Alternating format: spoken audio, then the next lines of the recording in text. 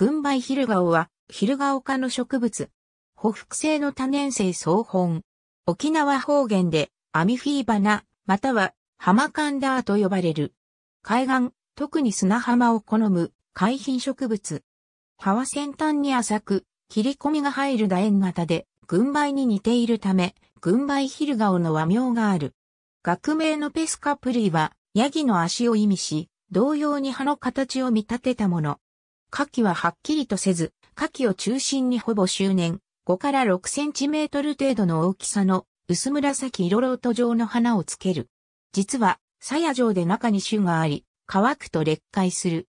種子は海水に浮き、海流に乗って分布を広げる。